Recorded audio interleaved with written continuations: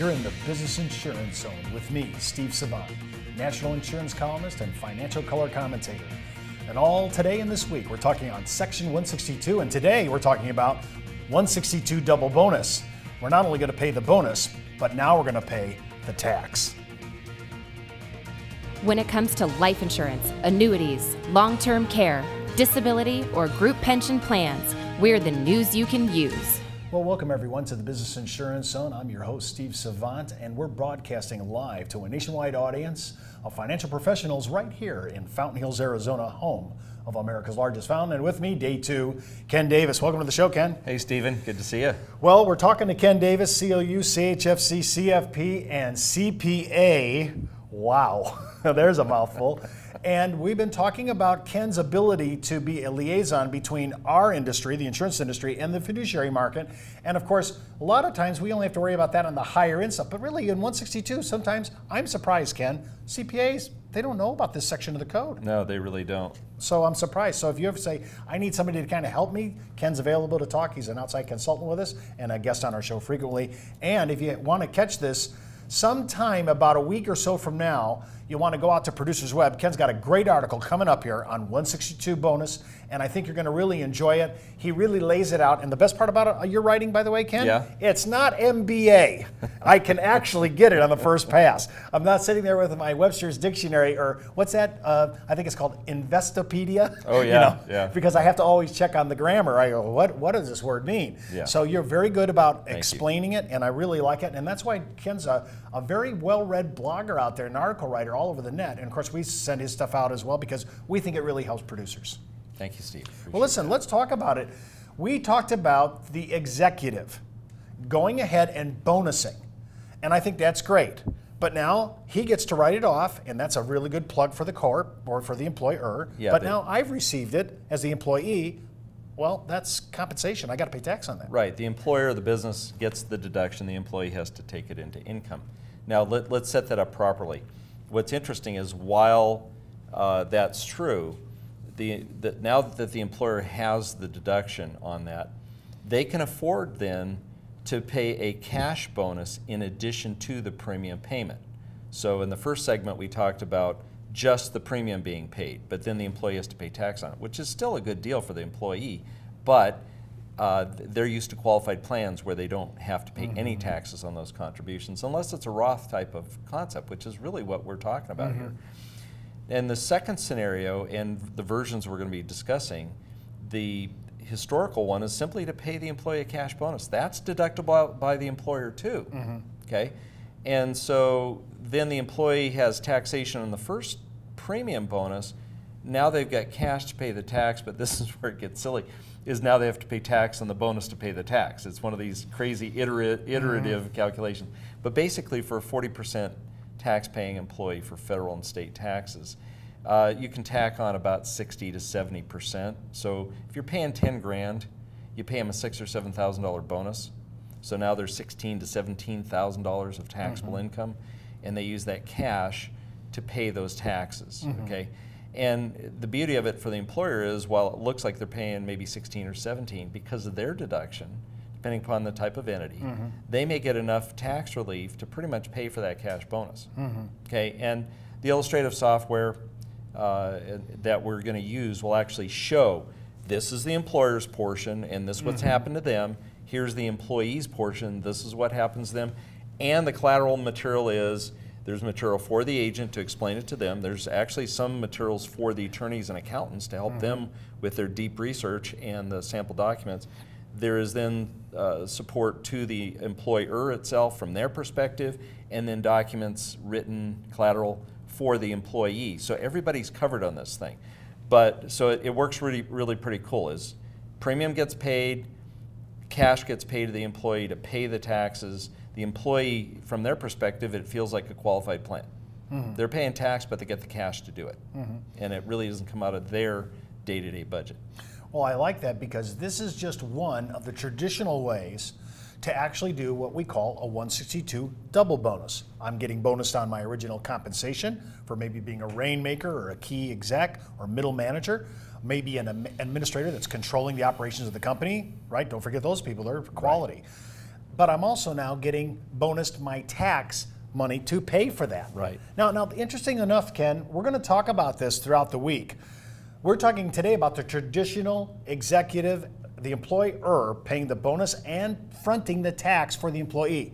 But tomorrow and Thursday, we're going to take a different twist on this and I'm going to show you how to do this. Now, I said in our first show yesterday, remember, maybe you're a whole life vendor. You like interest rate par driven contracts. Well, you can use it for this. Sure. Maybe you say, oh no, I like current assumption UL. I like the flexibility. I kind of like not, no, I kind of like in the interest rate market. I'm really not a security or a person who likes indexing. Because there's people out there that are Right, still sure. uptight about that. Sure, I but then there, we have people that love indexes, Mm-hmm, right? It could be foreign, it could be domestic, sitting on a UL chassis, a universal life chassis. And some people even say, Steve, I know all that, but I still like the equity markets and bond markets. I kind of like to still play in the variable area. So there's four different mortality chassis that you can select to do a 162 bonus, or in today's show, we're talking about 162 double bonus. Well, and, the beauty of this, I think, from the perspective of the agent, is all of the things we're talking about tax deferral, tax free loans, tax free distributions, tax free death benefit our, our agents know all this stuff. This is their cash value policy.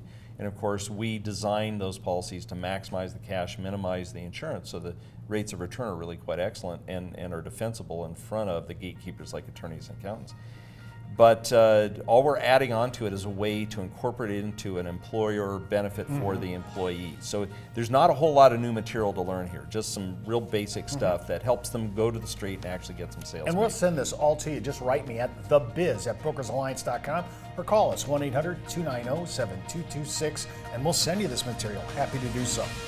Remember, you can contact me right on the that address, thebiz at brokersalliance.com or call our toll free number 1 800 290 7226.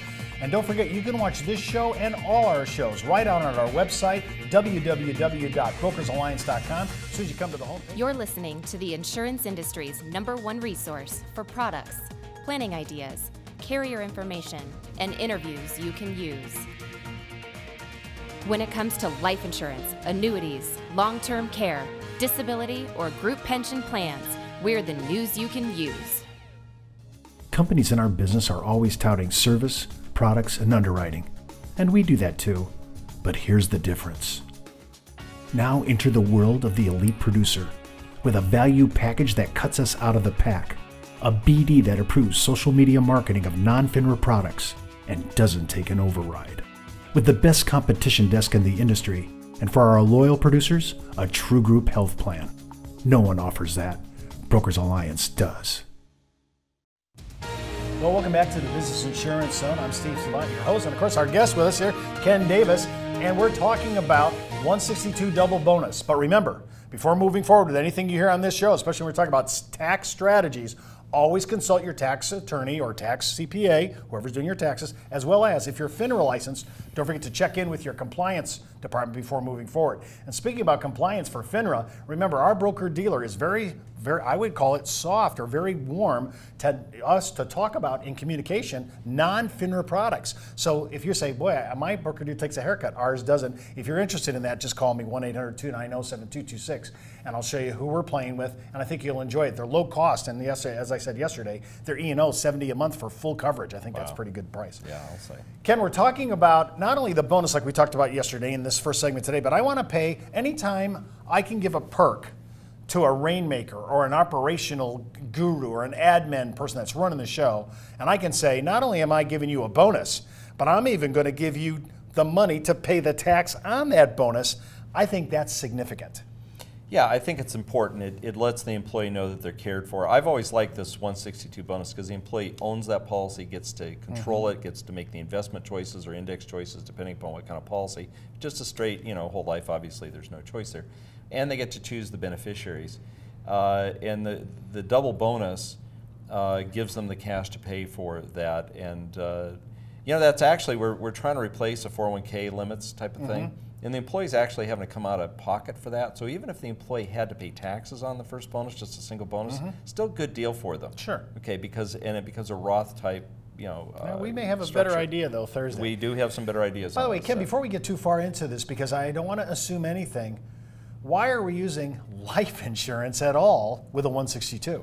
There's tax issues here. Well, yeah, of, of course, all the normal tax benefits of a life policy is the tax deferral on the earnings within the policy, and then either tax-free loans or tax-free withdrawals, assuming we meet our MEC tests and all the other stuff we know about with life insurance, and of course, death benefit. And, you know, we've been talking about the economic aspects of it, and these numbers really look quite good. We can squeeze down the cost when it's designed properly, 200 to 100 to 200 basis points below what the average credited interest rate is. Mm-hmm. So if you actually achieved an 8%, you might have six or seven. If you achieved a 7%, you might have five or six, okay? Mm-hmm. So tax benefits are there, and then ultimately, when we get into a restrictive endorsement thing, there's a way for the employer to control uh, and, and give a, an incentive for the employee to hang around. Mm-hmm. And that's when we get into these other options with the double bonus, we're going to be talking about incentives to keep the employee mm-hmm. around. Because that's what the employer wants to do is first they want to incent the employee, give them something that makes them feel good about being there, or when they're recruiting, they can say, hey, look what we do for you, right? Mm-hmm. And it helps bring in new people. And the, the- some employers say, well, gee, I'm putting all this money in, I'd, I'd really like to make sure they don't walk out the door. So we're going to be talking mm-hmm. about that later on as well. Well, I like the uh, idea of double bonus where I'm getting my compensation. I'm also getting the taxes that I'm going to have to pay on that compensation fronted to me. And we're going to talk about different ways to do that. Mm-hmm. But now I'm pulling strategic withdrawals to basis and policy loans of gain as long as you keep the contract in force. Right. We bought the lowest suppressed death benefit under the code, right? So that we can actually keep Right. those expense loads down. Our goal, Ken and I want to keep the internal expenses of the contract down as low as we can. So we're always going to select whatever cost of insurance, whether it's level or whether it's increasing, to figure out which way is the cheapest way to do it and why. Because we want to be able to pull all this money out tax free. So there's a lot of double. This 162 double bonus has huge issues during the front up front for the employer and the employee, but now for the employee later on, we're talking about tax free income. And Ken. If this income is coming out withdrawals to basis and policy loans to gain, I'm not, this part of my portfolio is not causing my Social Security to get taxed. That's right.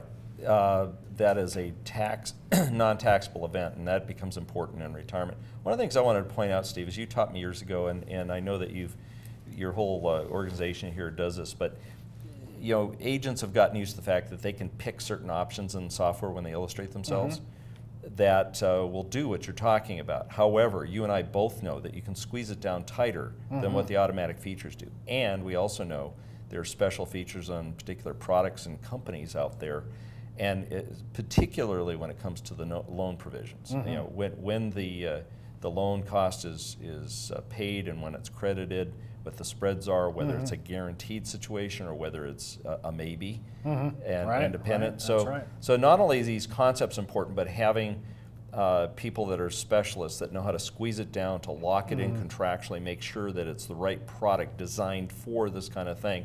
And of course, underwriting is critical.